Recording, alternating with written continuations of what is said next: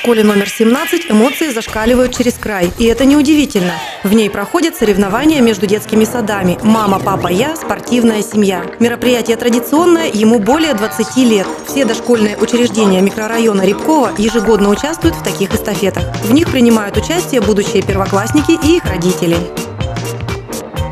Поэтому мы стараемся объединить все детские сады микрорайона вот на таком мероприятии. И девиз нашей школы «Семья и школа вместе навсегда». Поэтому вот такие большие мероприятия, которые охватывают и детей, и родителей, являются мостиком между детским садом и школой. Эстафеты очень сложные, но участников это не испугало. Дети и взрослые преодолевали препятствия, не жалея сил, и, кажется, получали от происходящего не меньшее удовольствие. Ну а болельщики поддерживали своих спортсменов дружными восторженными криками. Данное мероприятие пошло на пользу и доставила массу положительных эмоций как работникам школы, так и малышам. Не остался равнодушным даже судья. В его роли в этот раз выступил глава города. Эта традиция, зародившаяся много лет назад, сегодня дает то воодушевление, то вдохновение на большие-большие хорошие дела.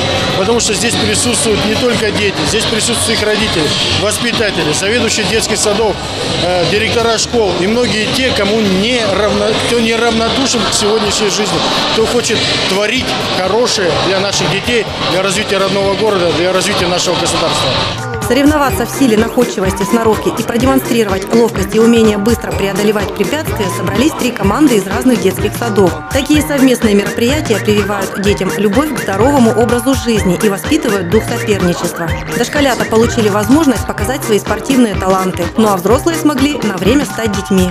Старался, тренировался ты? И что ты делал, чтобы победить? Тренировался. А еще что?